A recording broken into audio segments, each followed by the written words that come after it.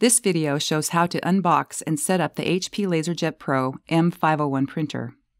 This printer is heavy. HP recommends using a cart or dolly to move it to the setup location. Place the box on a flat, smooth surface. Open it by breaking the tape on the top and folding back the flaps. On the top of the packing material, you'll find the following items a setup guide. It's the basic step by step guide for setting up your printer, much like this video a Getting Started Guide, which helps you install and set up the software, instructions for taking the printer out of the box, the printer's warranty, and a multi language support guide with phone numbers and websites for contacting HP technical support. When you have removed these items, pull up on the cardboard flap to access the pocket containing the power cord. Make sure you only use this power cord with your printer. If you misplace it, order a new one from HP or your HP retailer. And the installation CD. Go to 123.hp.com forward slash laserjet to download the software and drivers for your printer. The installation CD allows access to the user guide, warranty information, and software. Note that a USB cable and an Ethernet cable do not come with your printer. If you plan to use either to connect the printer to your network, you will have to buy it separately. Now, take the printer out of the box. Lay the box on its side so the base of the printer is at the bottom. Reach into the box, grasp the plastic packaging material, and pull the printer out of the box. You might need someone to hold the box in place while you pull the printer out. Set the box aside.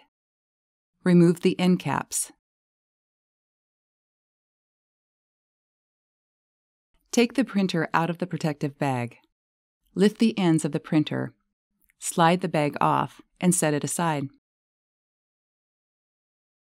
Remove the packing tape. Now, load the paper. Pull the paper tray out of the printer. Slide the paper width and paper length guides out as far as they will go. For legal size paper, pull the tray extension out. Flex the stack of paper to break any locked edges that could cause jams. Tap the paper on a flat surface to make sure that the edges are aligned and even. Load the paper so the top of the page goes into the printer first. Make sure that the stack of paper is not higher than the marks on the paper tray guides. Slide the paper length and paper width guides inward until they stop at the edges of the paper. Do not push the guides so far in that they bend the paper. Push the paper tray back into the printer until it stops. If you need instructions for loading the multi-purpose tray, go to www.hp.com forward slash support forward slash LJM501. Locate the power connector on the rear of the printer. Plug the power cord into the power connector. Make sure the plug is firmly in place. Plug the other end of the power cord into a power source. HP recommends that you plug the printer directly into a wall outlet, not a power strip. Also, Make sure that your power source meets the printer's minimum voltage requirements. You'll find them on the product label on the rear of the printer. To take advantage of the printer's job storage printing capability, insert a USB thumb drive into the USB port. Make sure the drive is a USB 2.0 or later with at least 16 gigabytes of memory. If you are connecting your printer to an Ethernet network, connect an Ethernet cable to the Ethernet port on the rear of the printer. Plug the other end of the cable into a hub or switch that's connected to your system's network port.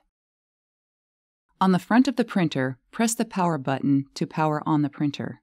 The printer will make some noise while it initializes. Wait until the printer is idle and silent before continuing with the setup. This might take a few minutes. When the initialization is complete, find the control panel on the right side of the printer. Remove the protective film from the display. The first thing you'll see on the control panel is the language setup screen. Note for these instructions, we will set up the printer for English. Press the arrow buttons to scroll to your language. Press OK.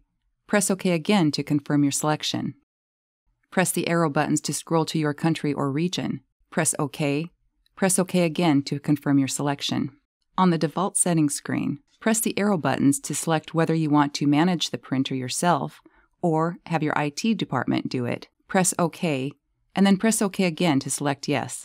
If the printer is connected to a network, the IP address appears automatically on the control panel. Go to 123.hp.com forward slash laserjet to install the printer's software on your computer. This has been the unboxing and setup video for the HP LaserJet Pro M501 printer.